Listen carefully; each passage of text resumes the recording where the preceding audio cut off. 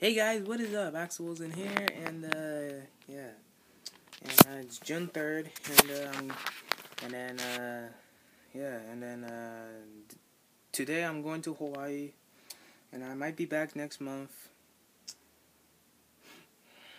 but I could still make some videos in Hawaii. Yeah, and Confine Me 13, if you're watching this video, uh, I'll be posting. Uh, the Axel and Me 13 Best Moments video.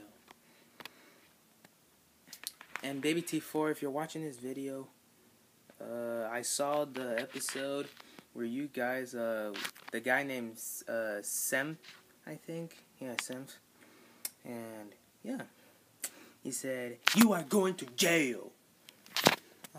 Hmm.